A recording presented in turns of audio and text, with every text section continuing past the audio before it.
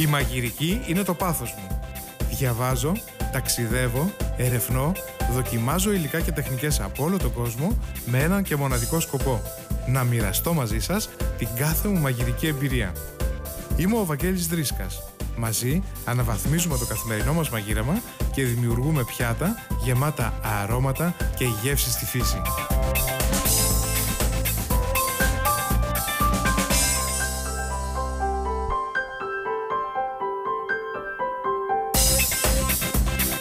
Καλώς ήρθατε στις γεύσεις στη φύση. Ξεκινάμε τα σημερινά μαγειρέματα με ένα τρυφερό φιλέτο κοτόπουλου στη σχάρα και μία μεσογειακή σάλτσα λιαστής ντομάτας. Συνεχίζουμε με αφράτα και φτεδάκια ζυμωμένα με πληγούρι και μαζί μία πικάντικη σάλτσα πιπεριάς. Ακολουθεί η πιο πρωτότυπη μαρμελάδα, φτιαγμένη με μπέικον που απλώνεται παντού.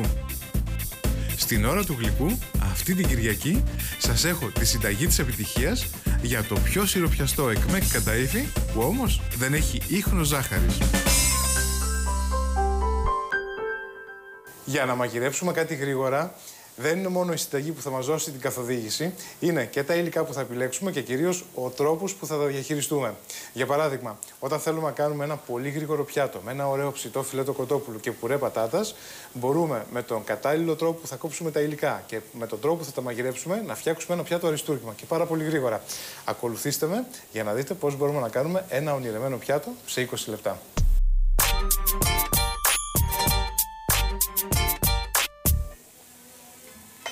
Ξεκινάω πρώτα με τις πατάτες για να κάνουμε έναν ωραίο πουρέ.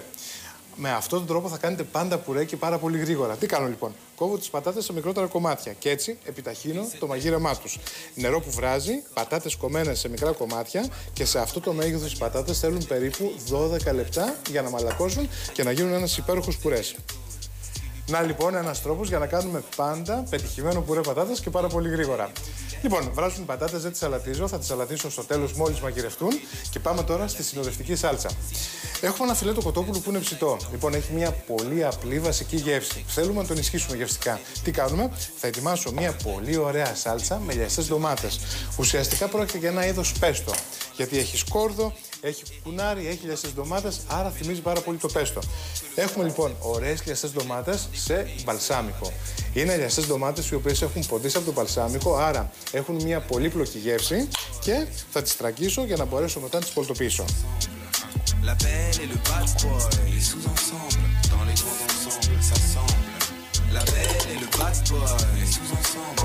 Ωραίο χρώμα, δροσερό κόκκινο. Τι ωραίο πράγμα όταν έχουν τελικά ωραία χρώματα, ωραίες γεύσεις, ωραίες μυρωδιές. Σε προδιαθέτουν πολύ ευχάριστα. Λοιπόν, εδώ στο πολυμίξερ θα βάλω λιαστές ντομάτες, αφού τις τραγγίσω από το ξύδι.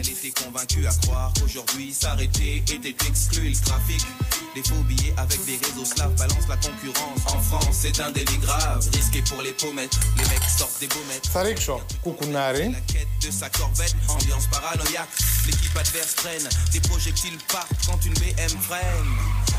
Το κουκουνάρι είναι ένας ξηρός καρπό που ταιριάζει πάρα πολύ ωραία με αυτές τις ωραίες σάλτσες, με αυτές τις Παρασκευές, με αυτά τα πέστο.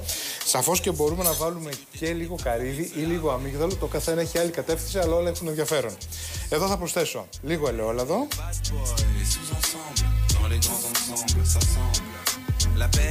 Και πολτό σκόρδο με ελαιόλαδο.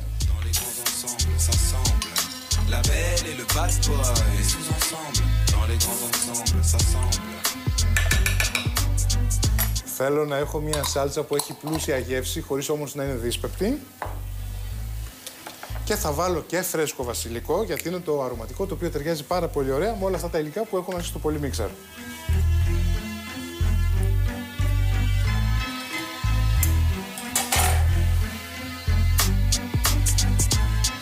Και πολτοποιώ όλα τα υλικά.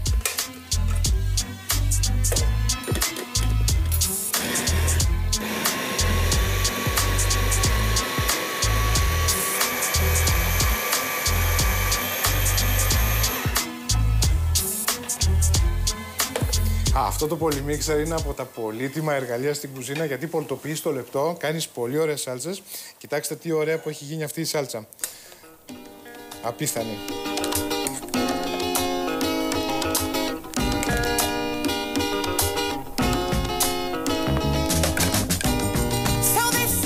Έτσι, κυριολεκτικά στο λεπτό, ετοιμάζουμε μια πολύ ωραία σάλτσα με ένα πολυμίξερ που έχει και μικρό σχήμα, αποθηκεύεται πολύ εύκολα στην κουζίνα και με βοηθάει σε κάθε βήμα.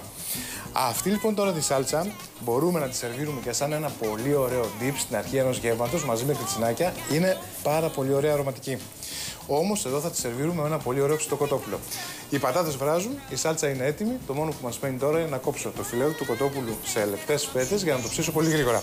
Φιλέτο από στήθος κοτόπουλου. Πάρα πολύ τρυφερό, μαγειρεύεται στο λεπτό.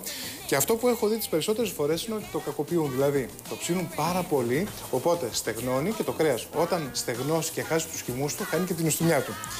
Το μυστικό για να ψήνουμε πολύ ωραία τα κρέατα είναι η δυνατή φωτιά και το λίγο ψήσιμο, έτσι ώστε να είναι ζουμερά για να είναι νόστιμα. Και εδώ το φιλέτο από στήθο κοτόπουλου προσφέρεται. Θα σας δείξω τον ιδανικό τρόπο για να το μαγειρεύετε κυριολεκτικά σε 5 λεπτά. Τι κάνω λοιπόν, κόβω πρώτα το παραφίλετο. Αυτό εδώ το κομματάκι είναι το πιο τρυφερό κομμάτι από το στήθος του κοτόπουλου. Αυτό είναι πραγματική λιχουδιά. Και το υπόλοιπο φιλέτο το κόβω σε λεπτές φέτες.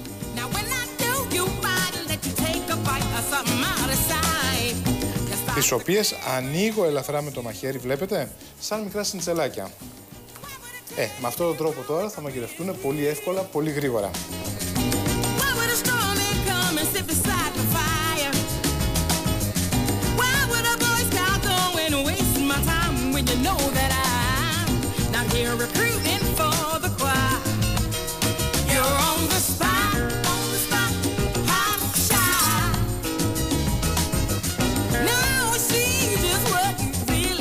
Έτοιμα τα φιλέτα του κοτόπουλου.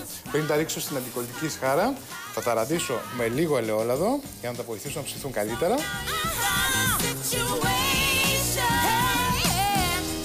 Και είμαστε έτοιμοι για ψήσιμο.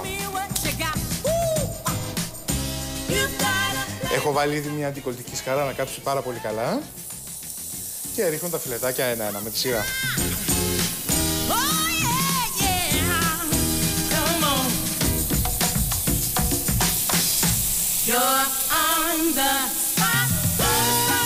Δεν φορτώνω με πολλά φιλετάκια την αντικολλητική σκάρα. Έχουν λίγο αέρα μεταξύ τους για να μπορέσουν να ψηθούν για να μην βράζουν. Λοιπόν, τι θα προσέξετε τώρα; Το φιλέτο του κοτόπουλου είναι πάρα πολύ τρυφερό. Μαγειρεύεται κυριολεκτικά στο λεπτό. Άρα θα δείτε ότι περιμετρικά αρχίζουν και ασπρίζουν. Όταν θα ασπρίσουν τελείως γύρω-γύρω, θα τα γυρίσουμε και από την άλλη πλευρά. Πότε είναι έτοιμα, όταν στην επάνω πλευρά υπάρχει ακόμη λίγη υγρασία, είναι ψημένα και δεν έχουν στεγνώσει. Εάν στεγνώσουν, έχουμε χάσει το στοίχημα. Πρέπει να είμαστε από πάνω. Και εδώ θα δείτε κυριολεκτικά μπροστά στα μάτια σας τώρα, στα επόμενα 3-4 λεπτά, να ψήνονται στην εντέλεια.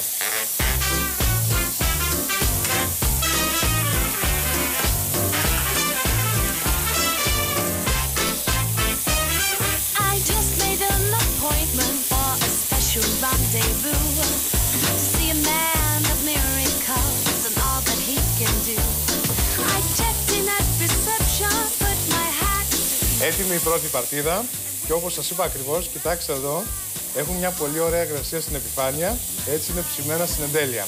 Τόσο γρήγορα, τόσο εύκολα, τόσο απλά.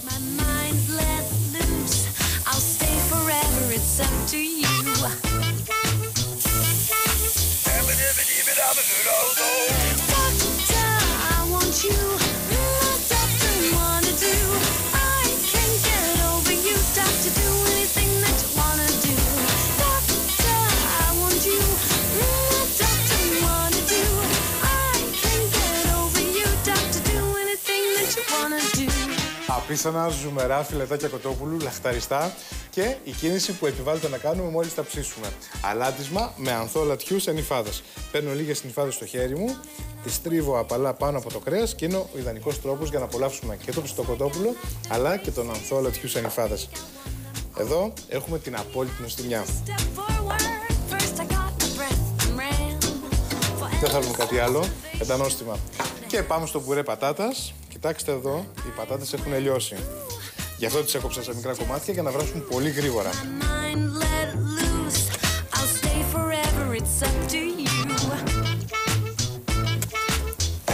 Και φυσικά έτσι όπως είναι πολύ ζεστές, πορτοποιούνται πολύ εύκολα. Που έχουν γίνει αφρός. Ο πιο αφράτος πουρές πατάτας. Και μάλιστα χωρίς βούτυρο, μόνο με λίγο ελαιόλαδο και φυσικά ανθό αλατιού γιατί και εδώ ταιριάζει απόλυτα.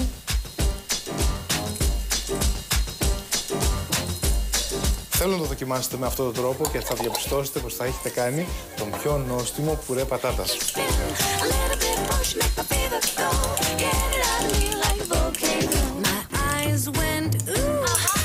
Είμαστε έτοιμοι για σερβίρισμα.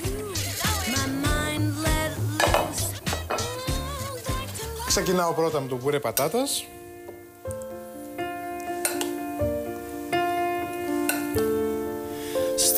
Γι' αυτό λέμε ότι στη μαγειρική παίζουν όλες οι αισθήσεις. Εδώ τώρα νιώθω ότι είναι τόσο βελούδινος ο πουρές, έχει μια απίστευτη υφή και έτσι αυτό το πράγμα το κάνει εξαιρετικά γοητευτικό.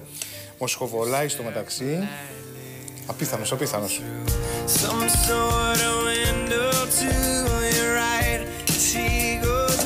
Και μετά πάμε στα φιλετάκια του κοτόπουλου.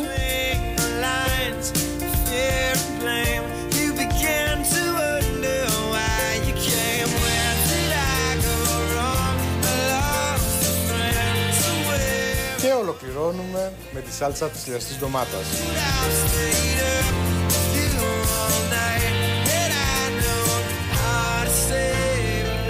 Και τα απαραίτητα φρέσκα μυρωδικά. Εδώ θα βάλω φρέσκο βασιλικό γιατί έχω βάλει και μέσα στη σάλτσα. Ταιριάζει πάρα πολύ ωραία.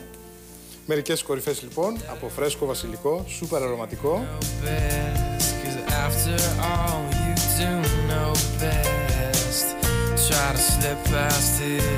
Να λοιπόν που υπάρχουν τρόποι να μαγειρεύουμε γρήγορα εντυπωσιακά πιάτα γεμάτα νοστιμιά. Όπως αυτό το κοτόπουλο σε 20 μόνο λεπτά. Απολαυστικό.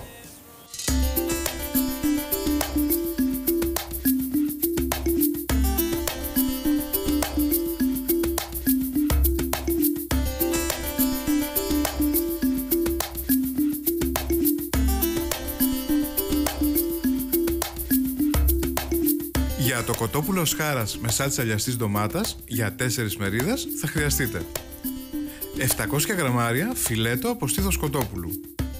Ένα βαζάκι λιαστές ντομάτας σε βαλσάμικο. 50 γραμμάρια κουκουνάρι. 2 κουταλάκια του γλυκού πολτό σκόρθου με ελαιόλαδο 4 μεγάλες πατάτες. 3-4 κλωναράκια βασιλικό. Ελαιόλαδο. Ανθό αλατιούς σε νυφάδες Γάντια νητριλίου μίας χρήσης.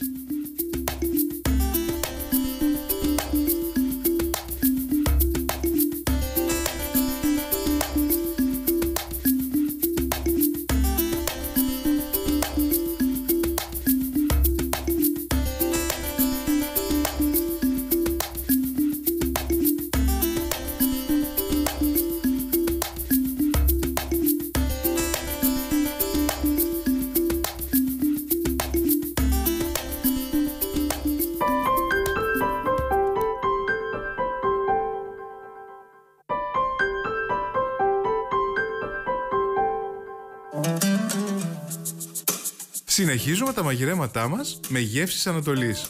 Φτιάχνουμε και φτεδάκια με κιμά και πληγούρι και τα σερβίρουμε με πικάντικη σάλτσα πιπεριάς. Αμέσως μετά έρχεται η πρωτότυπη μαρμελάδα μπέικον που την απολαμβάνουμε σε ψητές πατάτες. Φτιάχνουμε εύκολα αφράτα αλμυρά μπισκότα και κλείνουμε γλυκά με το εκμέκ κανταΐφι που δεν έχει ίχνος ζάχαρης.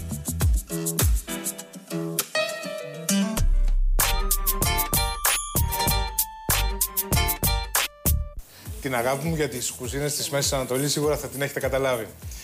Μ' αρέσουν πάρα πολύ οι συνδυασμοί και έτσι από μερικά πιάτα που έχω δοκιμάσει έχω καταλήξει σε συνταγές που φτιάχνω και εδώ και θέλω να τις μοιράζομαι μαζί σας. Όπως αυτή τη συνταγή που θα κάνουμε τώρα, που είναι ιδανική για το κυριακάτικο τραπέζι. Οι ποσότητες και αναλογίες που σας δίνω είναι για να κάνετε ένα πολύ ωραίο ορεκτικό. Εάν αυξήσετε τις ποσότητες στο κοιμά, θα έχετε και ένα πολύ ωραίο κυρίως πιάτο.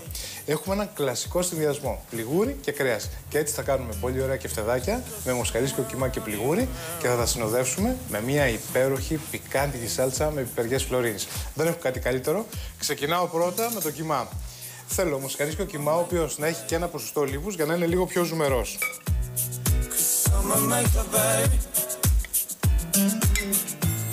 Συνεχίζω με το πληγούρι. Το έχω μου σκέψει για μισή ώρα σε χλιαρό νερό, έχει μαλακώσει Και είναι ένα υλικό το οποίο ταιριάζει τόσο ωραία με το κιμά και κάνει τόσο αφρά τα κεφταδάκια που θέλω να το δοκιμάσετε. Λίγη ρίγανη απαραίτητα, ξερή ρίγανη για να δώσουμε έντονη γεύση, έντονο άρωμα στα κεφτεδάκια και κρεμμύδι τριμμένο απαραίτητα αλάτι και πιπέρι και πολτό σκόρδου με μείγμα μυρωδικών. Καταλαβαίνετε λοιπόν ότι αυτά τα κεφτεδάκια είναι σούπερ αρωματικά. Και σούπερ αφράτα γιατί, γιατί έχω βάλει το πληγούρι. Το πληγούρι μου σκεμμένο για μισή ώρα σε χλιαρό νερό. Αυτό είναι το πληγούρι στη φυσική του μορφή. Για να το δουλέψουμε, για να το βάλουμε μέσα στις συνταγές, είναι καλό να το μουσκεύουμε πριν. Μισή ώρα σε χλιαρό νερό είναι ακριβώς ό,τι χρειάζεται για να μουσκέψει, να μαλακώσει για να μπορέσουμε μετά να το επεξεργαστούμε με τον τρόπο που πρέπει. Ακόμη και όταν μαγειρεύετε με πληγούρι, μουσκέψτε το λίγο πιο πριν γιατί έτσι επιταχύνεται το μαγείρεμά του. Δεν θέλω κάτι άλλο. Θέλω γάντια για να ζυμώσω το μείγμα και να πλάσω το κεφτεδάκι.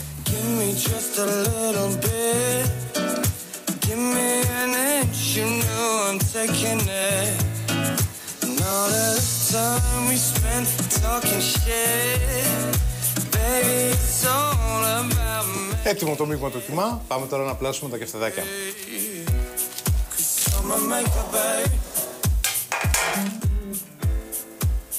Μικρά χαριτωμένα κεφταδάκια γιατί μιλάμε για ορεκτικό και έτσι πρέπει να είναι μικρές μπουκίτσες.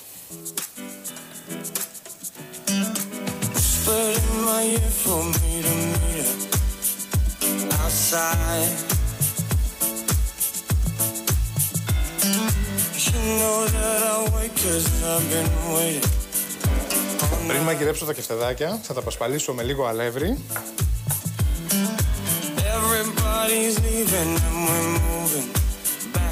και θα τα μαγειρέψω σε ένα αντικολλητικό τηγάνι με πολύ λίγο λάδι. Δεν θα τα τηγανίσω, θα τα σοτάρω ουσιαστικά και θα τα αφήσω να σιγομαγειρευτούν με πολύ λίγο λάδι.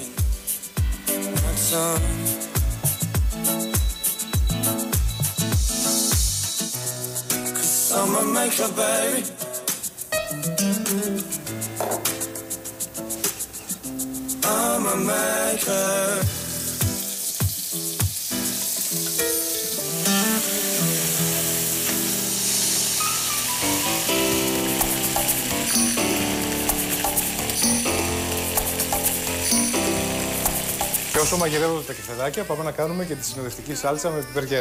Εδώ έχουμε ακόμη έναν κλασικό συνδυασμό από τις κουζίνες της Μέσης Ανατολής. Δηλαδή, έχουμε πιπεριέ, καρύδια και μάλιστα εκεί χρησιμοποιούν και το πετιμέζι ροδιού. Εάν δεν το έχετε, σας έχω το πιο καλό υποκατάστατο ένα υλικό το οποίο σας λύνει τα χέρια. Κρέμα βαλσαμικού. Αν δεν το έχετε σκεφτεί, δοκιμάστε το σε αυτές τις συνταγές και θα δείτε αυτό το twist που κάνει στη γεύση κάνει θαύματα. Ξεκινάω πρώτα βάζοντας πιπεριές φλωρίνης, έτοιμες, ψημένες στην άλμη του, έτσι όπως είναι στο βαζάκι, κατευθείαν μέσα στο πολυμίξερ. Δεν χρειάζεται να τις κόψουμε σε μικρότερα κομμάτια, θα πολιτοποιηθούν έτσι κι αλλιώς. Και συνεχίζω ρίχνοντας καρύδια, καρυδόψικα. Δύο μπαχαρικά που ταιριάζουν πάρα πολύ ωραία. Κίμινο, και καυτερό μπούκοβο γιατί θέλουμε πικάντικη γεύση και ταιριάζει πολύ ωραία η πικάντικη γεύση και με τα κεφτεδάκια και με αυτή τη σάλτσα. Αλάτι και υπέρι φυσικά. Συνεχίζω με την κρέμα βαλσαμικού.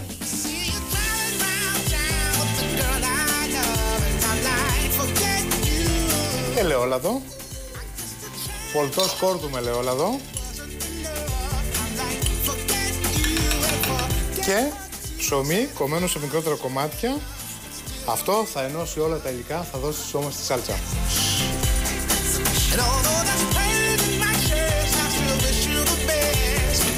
Και πολτοποιώ το μείγμα.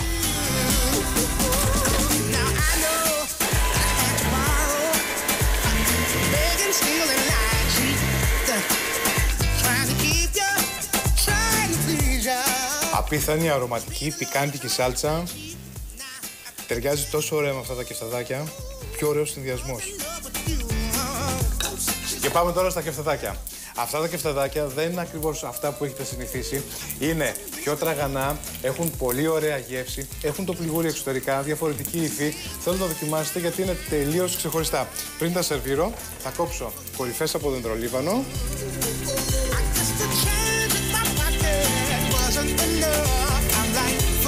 Είπαμε, Πρέπει να παίζουν όλες οι αισθήσεις και έτσι λοιπόν ένα πιάτο πρέπει να είναι περιποιημένο, όμορφο για να μας ανοίγει την όρεξη. Και πάμε για σερβίρισμα.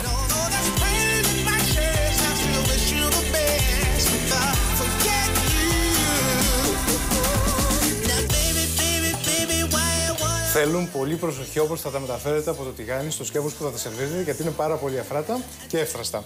Να λοιπόν, αυτά είναι τα κεφτεδάκια με την πικάντικη σάλτσα πιπεριά, κεφτεδάκια με πληγούρι, ένα απίθανο ορεκτικό για το κυριακάτικο τραπέζι.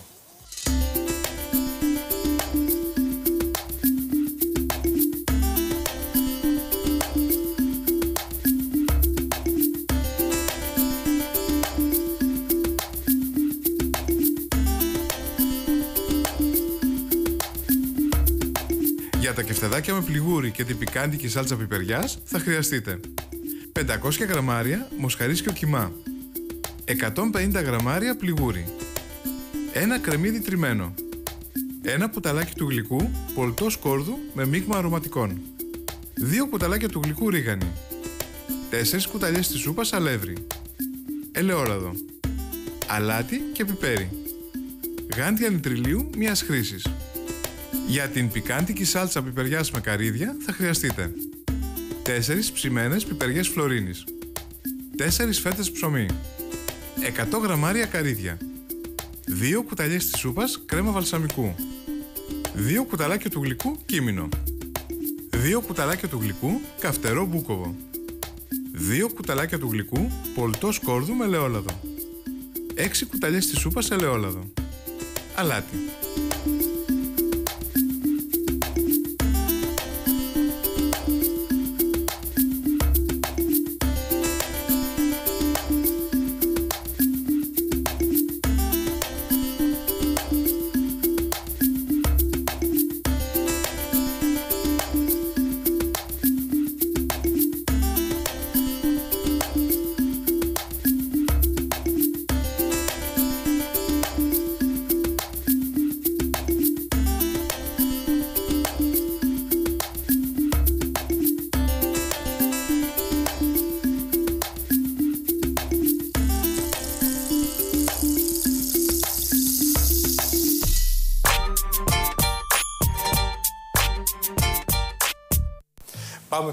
δοκιμάσουμε έναν ολοκέντρο συνδυασμό. Να σας πω την αλήθεια, όταν πρωτοδοκίμασα τη μαρμελάδα bacon, έμεινα έκπληκτος από το αποτέλεσμα από τη γεύση. Το ίδιο έκπληκτη είμαι σίγουρος πως θα μείνετε κι εσείς. Γιατί πρόκειται για μια πολύ πρωτότυπη συνταγή, παρόλο που είναι πολύ παλιά, αμερικάνικη. Τη μαρμελάδα bacon τη φτιάχνουν και στην Αγγλία. Είναι πολύ δημοφιλής και ήρθε η ώρα λοιπόν να τη γνωρίσουμε κι εμείς.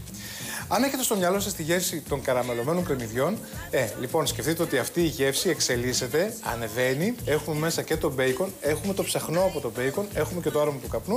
Οπότε μιλάμε για μια πολυπλοκότητα. Και είναι μια μαρμελάδα γλυκόξινη, η οποία ταιριάζει με πάρα πολλά πράγματα. Υπάρχουν δεκάδες τρόποι για να τη σερβίρουμε. Οι ιδέες είναι ατελείωτες, θα τις δούμε στη συνέχεια. Πάμε όμως τώρα να δούμε πώς θα φτιάξουμε αυτή την πρωτότυπη μαρμελάδα. Ξεκινάμε με τον πρωταγωνιστή φυσικά που είναι το μπέικον. Θέλουμε ένα ωραίο μπέικον καπνιστό, χοιρινό, το οποίο θα το ψιλοκόψω και θα το σοτάρω πρώτα σε αντικολλητικό τηγάνι. Και εδώ, επειδή το μπέικον έχει το δικό του λίπος, δεν θα προσθέσω άλλη λιπαρή ουσία. Μόνο του θα το αφήσω σιγά σιγά να στεγνώσει για να βγάλει όλα τα αρώματα.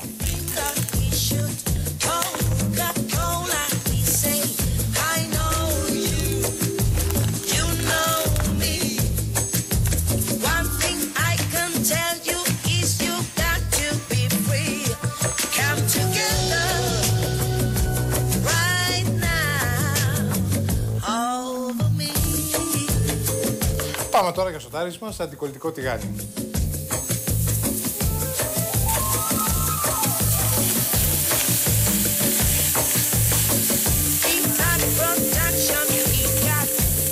Μόλις αρχίσει και στεγνώνει, κατεβάζω την ένταση της εστίας από το 9, πηγαίνω στο 3 και θα αφήσω τώρα το μπέικον να σιγομαγειρευτεί για 7-8 λεπτά. Και φυσικά ανακατεύω κατά διαστήματα. Και όσο μαγειρεύεται το μπέικον, πάμε στα υπόλοιπα υλικά της μαρμελάδας. Εδώ ξεκινάω σοτάροντας κρεμμύδια, κομμένα σε λεπτές φέτες, όπως βλέπετε εδώ.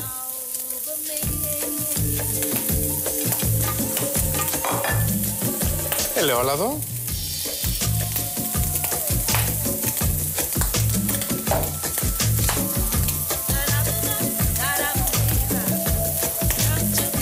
Και συνεχίζω με τα υπόλοιπα υλικά της συνταγής που είναι μαύρη ζάχαρη. Θέλω μαύρη ζάχαρη με υγρασία για να καρμελώσει πολύ ωραία το μείγμα. Και επειδή θέλουμε γλυκό ξινή γεύση στη μαρμελάδα μας, θα ρίξω και ξύδι βαλσαμικό, που μάλιστα αυτό είναι και βιολογικό.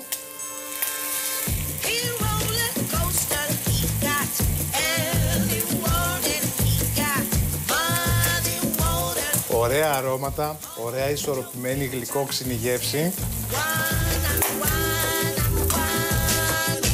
Και έχοντας δυνατή γλυκιά γεύση από τη ζάχαρη, δυνατή γεύση από το ξύδι βαλσαμικό, έχω και καφέ για να ισορροπήσω όλες τις γεύσεις. Έχουμε γλυκό, ξινό, πικρό και έτσι έχουμε μία πολυπλοκότητα. Αυτή θέλουμε να τα μαγειρεύουμε.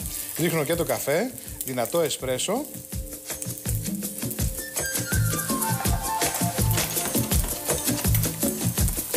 Και αφήνω τα κρεμμύδια πλέον σε μέτρια φωτιά να σιγομαγειρευτούν για 15 λεπτά μέχρι να μαλακώσουν και να αρχίσουν να καραμελώνουν. Παράλληλα, το μπέικον μαγειρεύεται.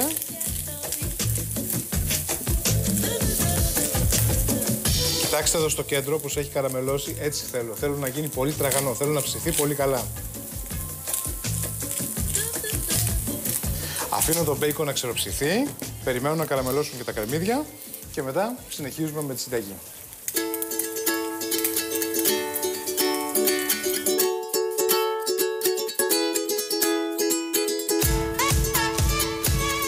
Κοιτάξτε τα κρεμμύδια, τι ωραία που έχουν καραμελώσει.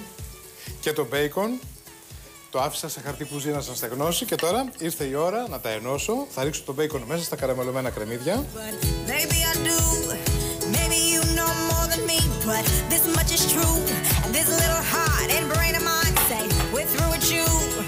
Ανακατεύω και η μαρμελάδα μπέικον είναι έτοιμη. Και μιλάμε ότι έχει συγκλονιστικά αρώματα. Πού χρησιμοποιούμε τώρα τη μαρμελάδα μπέικον. Μπορούμε να την αλείψουμε σαν σπρέτ σε ψωμάκι για σάντουιτς, να τη σερβίρουμε πάνω από μπέργκερς ή από πιφτέκια, να τη σερβίρουμε όπως είναι σαν ορεκτικό, με κριτσινάκια, με αλμυρά μπισκότα. Υπάρχουν τόσοι τρόποι να την απολαύσουμε, θέλω να τη δοκιμάσετε και σίγουρα θα σας γεννηθούν και εσάς πολλές ιδέες. Εγώ βέβαια σας έχω μια πρόταση πολύ νόστιμη που θέλω να τη δοκιμάσετε.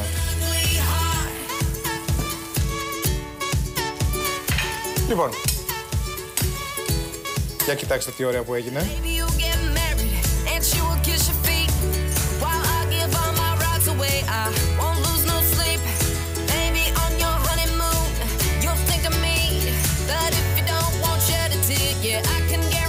Αν θέλετε, μπορείτε και να την πολτοποιήσετε για να την απλώσετε πιο εύκολα για να γίνει πραγματικά μαρμελάδα. Όμως και έτσι έχει πάρα πολύ ενδιαφέρον. Σας έχω τώρα μια πολύ ωραία πρόταση σερβιρίσματος. Σας είπα πολλές ιδέες. Να ακόμη μια πρόταση να τη σερβίρουμε μαζί με ψητές πατάτες. Εδώ έχω ψητές πατάτες που τις έβγαλα μόλις από το φούρνο. Ολόκληρες πατάτες τυλιγμένες σε αλουμινόχαρτο και ψημένες για μία ώρα στους 180 βαθμούς. Έτσι ετοιμάζουμε κανονικά τις πατάτες για οποιαδήποτε χρήση και πάμε τώρα να δούμε πώς θα τις γεμίσουμε. Τις ανοίγω. Εδώ βλέπετε, τελευταία στιγμή λίγο πριν τις σερβίρουμε για να είναι ζεστές. Και όσο είναι ζεστές πασπαλίζω με ανθό αλατιούς ανυφάδες και έτσι γίνονται εξαιρετικά νόστιμες. Και εδώ βάζω μαρμελάδα μπέικον. Τριμμένο τσένταρ ταιριάζει απόλυτα με τις ψημένες πατάτες. Το τσένταρ έρχεται και λιώνει όσο είναι ζεστές οι πατάτες. Και συμπληρώνω ακόμη λίγη μαρμελάδα μπέικον.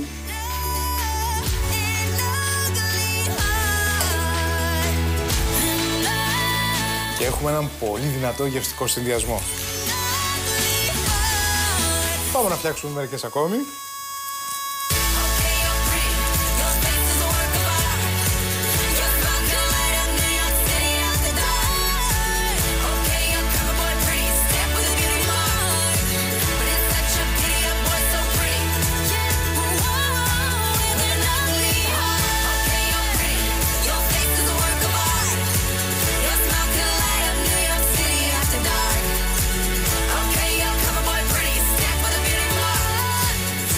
Δοκιμάσετε αυτή τη μαρμελάδα μπέικον γιατί έχει δεκάδες εφαρμογές. Είμαι σίγουρος ότι θα γίνει μια αγαπημένη σας.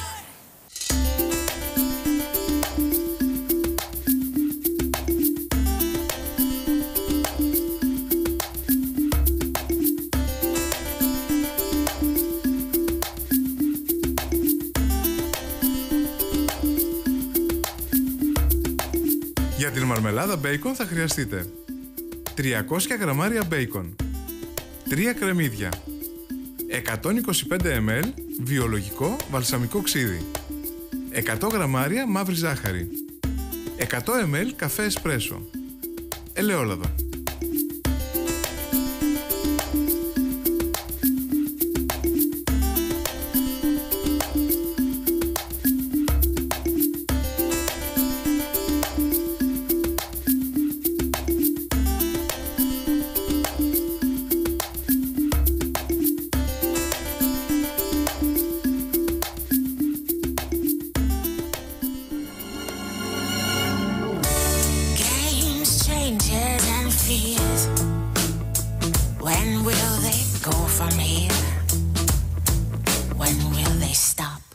Τα αφράτα αλμυρά μπισκότα που θα φτιάξουμε τώρα είναι μια λιχουδιά για όλες τις ώρες της ημέρας.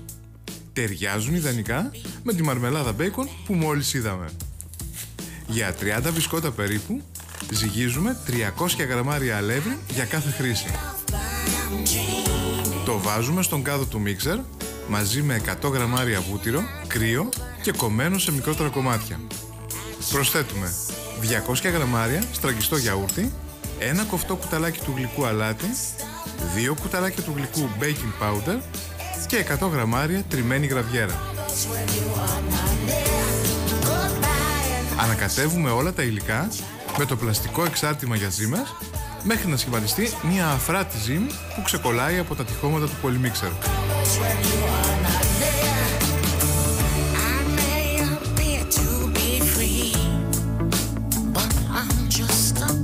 Βάζουμε τη ζύμη στον πάγκο εργασίας, πασπαλίζουμε με αλεύρι και σχηματίζουμε τρία ρολά. all right and smile when you leave. But my smiles are just a front, just a front. Hey, and I play it off, but Ετοιμάζουμε το ταψί στρώνοντας ένα φύλλο αντικολλητικού χαρτιού. Κόβουμε κάθε ρολό σε φέτες για να σχηματίσουμε τα μπισκότα και τα στρώνουμε με τη σειρά επάνω στο αντικολλητικό χαρτί. try to walk away and I stumble. Though I try to hide it, it's clear. Χτυπάμε ένα αυγό και αλήφουμε με αυτό τα μπισκότα. Goodbye and not true. Try to walk away and I stumble. Πασπαλίζουμε με παπαρουνόσπορο. Εναλλακτικά μπορούμε να πασπαλίσουμε με σουσάμι, μαυροκούκι ή τριμμένη γραβιέρα. Ψήνουμε στον αέρα στους 180 βαθμούς για 15 με 20 λεπτά.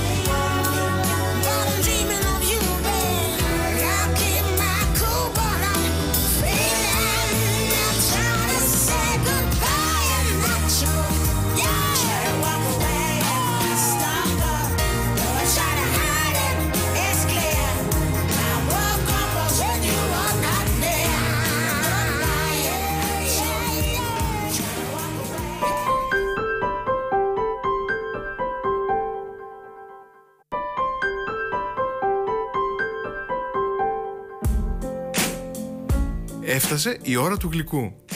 Είναι δυνατόν ένα κλασικό σιροπιαστό γλυκό όπως το εκμεκ κανταΐφι να ετοιμαστεί χωρίς σύχνο ζάχαρης και να έχει όλη του τη γεύση; Ακολουθήστε με στην κουζίνα μου για να μάθετε όλα τα μυστικά αυτής της μοναδικής συνταγής.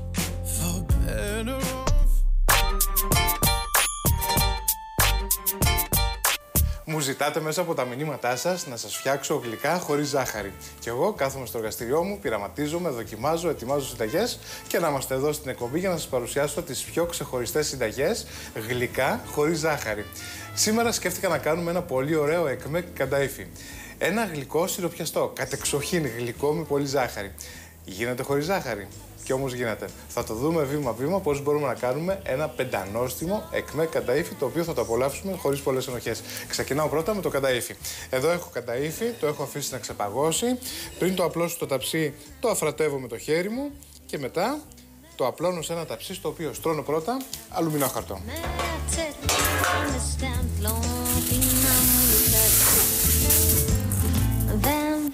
Αυτό το εκμεκ θα το σερβίρω μέσα σε ποτήρια. Επομένως, ψήνω το καταήφι πολύ ελεύθερα, δεν το βάζω σε μια φόρμα.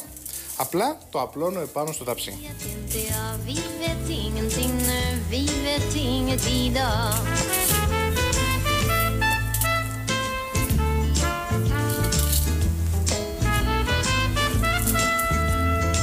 Συνεχίζω με βούτυρο λιωμένο. Το βούτυρο είναι απαραίτητο για να του δώσει πολύ ωραία γεύση και για να το κάνει τραγανό φυσικά. Και πασπαλίζω με μαχλέπι τριμμένο και έτσι λοιπόν δίνουμε άρωμα, δίνουμε γεύση Ανατολής. Το μαχλέπι, για όσους δεν το γνωρίζετε, είναι το χαρακτηριστικό μπαχαρικό, αυτό που δίνει γεύση και άρωμα στο τσουλέκι. Οπότε καταλαβαίνετε, την ίδια γεύση έχουμε και εδώ. Είμαστε έτοιμοι για ψήσιμο. Ο φούρνος προθερμασμένος στους 180 βαθμούς, στον αέρα. Ψήσιμο 35 λεπτά. Και το καταήφι είναι έτοιμο για σερβίρισμα. Du är en saga för god för att vara sann Det är en saga i sig att vi funnit varandra Και όσο ψήνεται το καταήφι, πάμε να φτιάξουμε και την κρέμα. Αυτή η κρέμα είναι μια κλασική κρέμα ζαχαροπλαστική. Μόνο που εδώ δεν έχει ζάχαρη. Τι έχει, θα το δούμε στη συνέχεια. Ξεκινάω πρώτα με το γάλα, που είναι το βασικό υλικό. Το βάζω να ζεσταθεί. Δεν θέλω να βράσει, θέλω να ζεσταθεί, να είναι χλιαρό για να μπορέσω να το ενώσω με τα υπόλοιπα υλικά. Πάμε τώρα στα υλικά να δούμε τι έχει αυτή η κρέμα μέσα. Ξεκινάω πρώτα με αυγά, ολόκληρα αυγά, corn flour, το υλικό το οποίο θα δέσει την κρέμα, και γλυκαντική ουσία από στέβια. Αυτό το υλικό βάζουμε για να δώσει γλυκιά γεύση στην κρέμα. Έχω διαπιστώσει από τις δοκιμές μου πως όταν πάμε να αντικαταστήσουμε τη ζάχαρη, ο ωραιότερος συνδυασμός είναι γλυκαντική ουσία από στέβια και σιρόπι αγάβης. Τι είναι το σιρόπι αγάβης; Το σιρόπι αγάβης είναι ένα σιρόπι από τον κάκτο, από τον οποίο παράγεται και η τεκίλα. Η αγάβη λοιπόν εδώ μας δίνει πολύ ωραία γλυκιά γεύση και τα δύο είναι το καλύτερο υποκατάστατο της ζάχαρης σε οποιαδήποτε γλυκιά παρασκευή. Βλέπετε λοιπόν ότι υπάρχουν λύσεις, υπάρχουν ωραίες ιδέες όταν θέλουμε να κάνουμε γλυκά χωρίς ζάχαρη. Να, πώς μπορούμε να κάνουμε, για παράδειγμα, μια πάρα πολύ ωραία κρέμα. Το γάλα αρχίζει και ζεσταίνεται, οπότε ανακατεύω όλα τα υλικά πολύ καλά.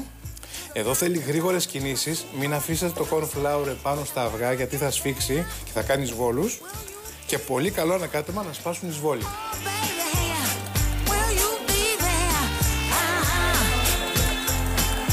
Η γλυκαντική ουσία από στέβια είναι ένα πολύ καλό υποκατάστατο της ζάχαρης. Μας δίνει γλυκιά γεύση. Όμως, αυτό που δίνει βαθιά γλυκιά γεύση είναι το σιρόπι της αγάπης. Φανταστείτε μια γεύση που πλησιάζει σχεδόν του μελιού. Και έτσι κάνω ένα πολύ ωραίο συνδυασμό και έχω μια κρέμα που έχει όλη τη γεύση, δεν μου λείπει τίποτα. Ρίχνω λίγο γάλα μέσα στο μείγμα. Θέλω να εξισορροπήσω τώρα τις θερμοκρασίες. Άρα, ρίχνω λίγο γάλα. Ανακατεύω γρήγορα για να ενωθούν τα υλικά, για να μην κόψουν τα αυγά. Και αυτό το μείγμα τώρα το ρίχνω πίσω στην κατσαρόλα, ανακατεύοντας.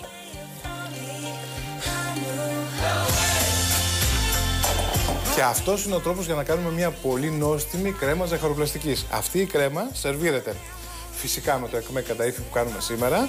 Μπορεί να σερβιριστεί από μόνη της. Είναι μια πεντανόστιμη κρέμα για μικρούς και μεγάλους.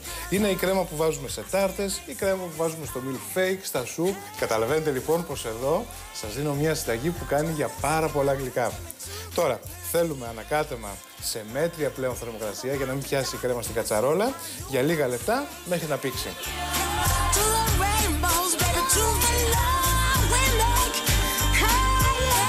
Και θα προσθέσω ακόμα ένα υλικό. Όταν κάνουμε κρέμες που έχουν αυγά, βάζουμε συνήθως και βανίλια, βανίλια σκόνη, εσάν βανίλιας, για να σπάσουμε τη μυρωδιά των αυγών. Εδώ έχω εσάν βανίλιας που είναι ό,τι πιο κοντά στη φυσική βανίλια. Μερικές σταγόνες από εσάν βανίλιας. So happy and so stressful. Yeah, baby, Και έτσι έχουμε μια κρέμα που έχει και γλυκιά γεύση και πλούσια αρώματα.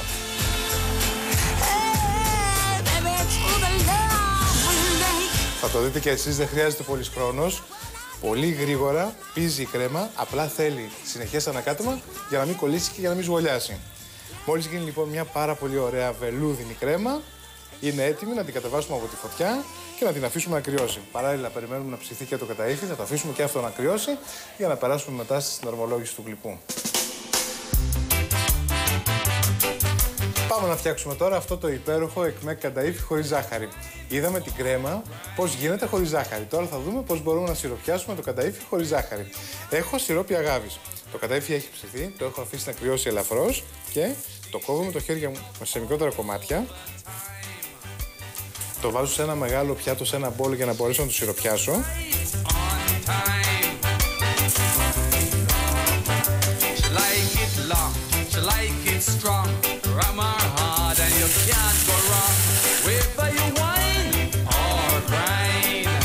Σας έχω τον πιο απλό και τον πιο αποτελεσματικό τρόπο για να σιροπιάσουμε το κανταήφι. Με σιρόπι αγάβης. You can avoid the rush. Whether you whine or grind. Όταν θα το δοκιμάσετε θα διαπιστώσετε ότι δεν του λείπει τίποτα απολύτως. Είναι σαν να τρώτε ένα πολύ ωραίο καλοψημένο, σιροπιασμένο κανταήφι. Αυτή είναι η επιτυχία του. Grind. Να ξέρετε για το σιρόπι αγάβης και για την γλυκαντική ουσία αποστέβεια πως είναι πιο γλυκά από τη ζάχαρη και τα δύο αυτά υλικά. Επομένως, σε κάθε συνταγή όπου θέλετε να αντικαταστήσετε τη ζάχαρη θα μειώνετε την ποσότητα σε αυτά τα υλικά.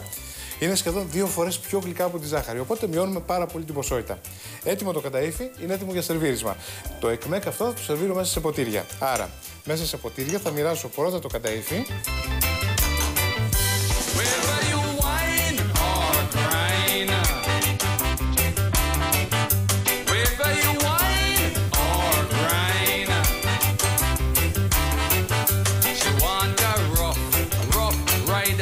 συνεχίζω με την κρέμα. Για να τη μοιράσω πιο εύκολα την έχω βάλει σε μικρά κορνέ. or grind.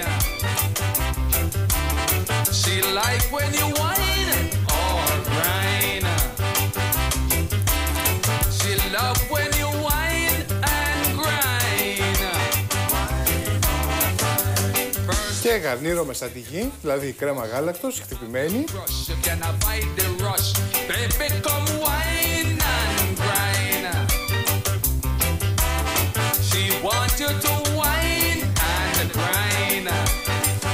Δεν τελειώσαμε όμως εδώ. Έχω σιρόπι αγάβης επάνω από τη σαντιγί. Εδώ έχουμε σκέτη κρέμα γάλακτος, επομένως βάζουμε και λίγο σιρόπι αγάβης για να δώσουμε γλυκιά γεύση.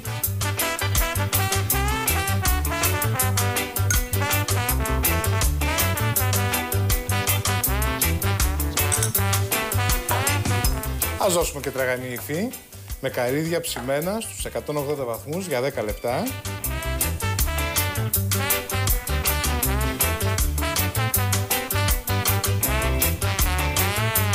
First thing to ask if you have your brush. If you Και για όσους αγαπάνε την κανέλα, παραδοσιακά το ΕΚΜΕΚ έχει και λίγη κανέλα. or grind.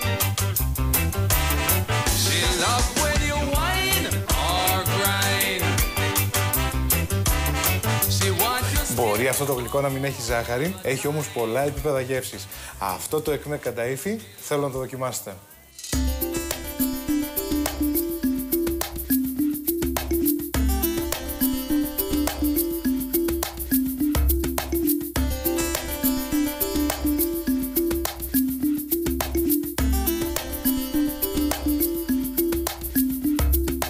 Για το εκμέκ κανταήφι χωρίς ζάχαρη, για 6 μερίδες, θα χρειαστείτε 300 γραμμάρια κανταήφι 100 γραμμάρια λιωμένο βούτυρο.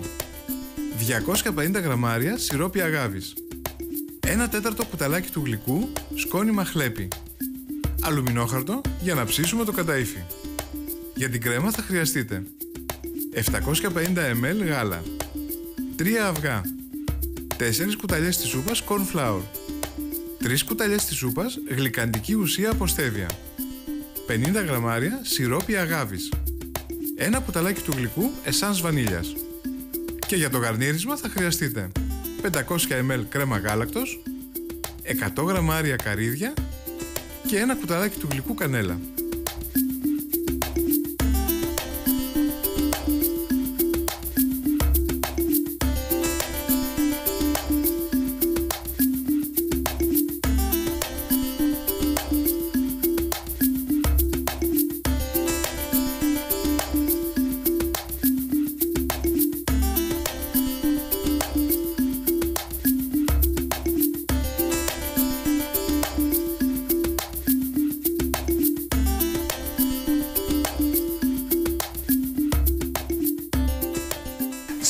κάναμε ακόμη ένα γευστικό ταξίδι σε όλο τον κόσμο. Ξεκινήσαμε από την Αμερική με την πρωτότυπη μαρμελάδα bacon, κάναμε μια στάση στη Μεσόγειο για να δοκιμάσουμε μια ωραία σάλτσα λιαστή ντομάτας και φτάσαμε μέχρι τη Μέση Ανατολή για να δοκιμάσουμε τα υπέροχα κεφταδάκια με το πληγούρι. Έτσι θα συνεχίσουμε και στις υπόλοιπες εκπομπές. Με γευστικά ταξίδια σε όλο τον κόσμο. Και μέχρι την επόμενη φορά, τι άλλο, καλά μαγειρέματα.